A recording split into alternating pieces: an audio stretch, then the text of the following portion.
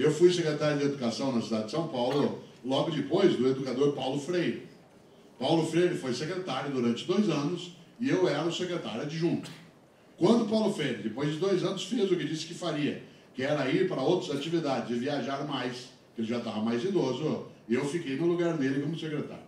Mas quando Paulo Freire era o secretário, eu era o adjunto. Isso significa que Paulo Freire era meu chefe, mas ele era, acima de tudo, meu líder.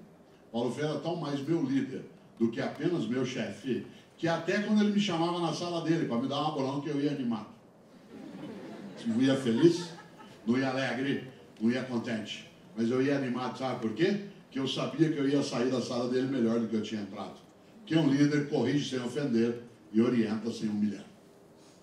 Um líder corrige sem ofender e orienta sem humilhar. Por isso, insisto, até quando ele me chamava para me dar uma bronca, eu sabia que eu ia sair com a alma ainda com vitalidade. Por quê? Porque a Paulo Freire não apenas obedecia, eu admirava, eu seguia, eu queria me inspirar nas coisas que ele fazia e falava. Eu sabia que ele não era infalível como nenhum de nós o é. E ele também sabia. Isso é inteligência. Ele também sabia que ele não era infalível, por isso ele também prestava atenção. A chefia, ela ordena, a liderança inspira, motiva. Será que dá para algum chefe ser líder? Claro, é só formar-se para isso. Será que dá para alguma liderança ser nomeada chefe? Só nas empresas inteligentes. Nas empresas inteligentes ou nas organizações inteligentes, aquele ou aquela que tem alguma força de liderança e faz fazer mais e melhor, também recebe cargo de chefia. E outros não. Olha só, o líder te inspira. O chefe, quando é só chefe, te inspira.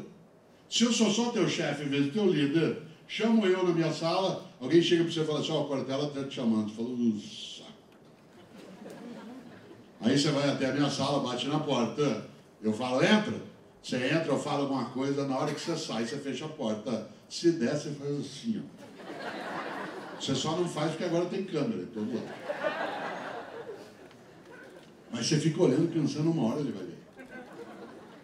Você põe aquela frase de para-choque de caminhão que tem lá no Paraná, na subida você me aperta, na descida nós acerta.